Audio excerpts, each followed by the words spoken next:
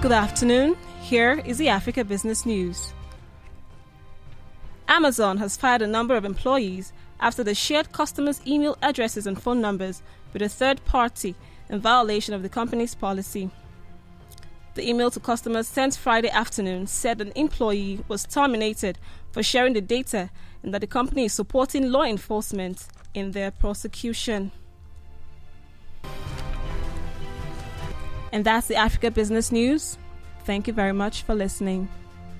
A road is just a road, but a Jeep SUV isn't just an SUV. Come see for yourself at the Jeep Start Something New sales event. During Owner Appreciation Month, financing at 3750 total cash allowance on the purchase of select 2020 Jeep Compass Latitude 4x4 models in dealer stock the longest. On oldest 20% inventory of 2020 Jeep Compass Latitude models as of 1 3 2020 in dealer stock. Financing for well qualified buyers through Chrysler Capital. Not all buyers will qualify. Residency restrictions apply. Take delivery by 2 3 2020. Jeep is a registered trademark.